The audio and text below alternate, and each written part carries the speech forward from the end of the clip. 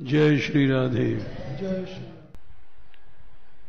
गुरु की पहचान क्या है? तो नारद जी ने कहा है, इक्यावनवा श्लोक फिफ्टी वन चौथा स्कंद, उनतीसवां अध्याय का इक्यावनवा श्लोक। गुरु वही है जो पढ़ा है या नहीं पढ़ा है, इसका कोई मतलब नहीं है।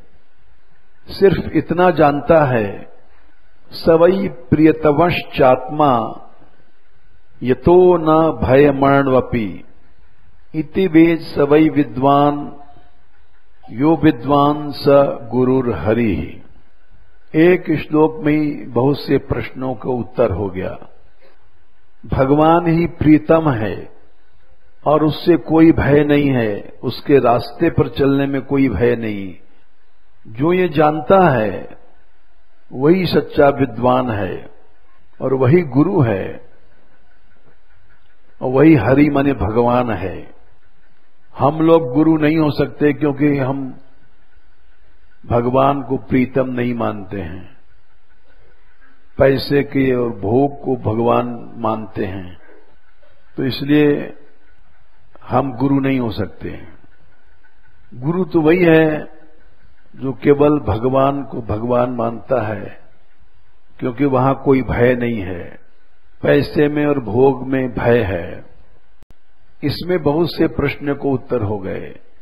गुरु चुनने का या लक्षण हमने बताया, नारद जी ने, और गुरु सही है या गलत है इसकी पहचान भी हो गई। जो गुरु करे शिष्य की आस, श्याम भजनते भया उदास। गुरु होकर के एक दोहा है भक्तमाल में गुरुजी लड़े मुकदमा चेला जोते खेत, और भजन भाव जाने नहीं, पैसन ही सोहेत। तो ऐसे लोग गुरु नहीं हो सकते। ऐसे लोगों को गुरु बनाने का मतलब है,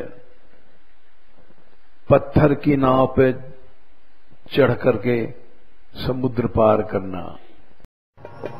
कृपा करो कृपा करो राधा रानी कृपा करो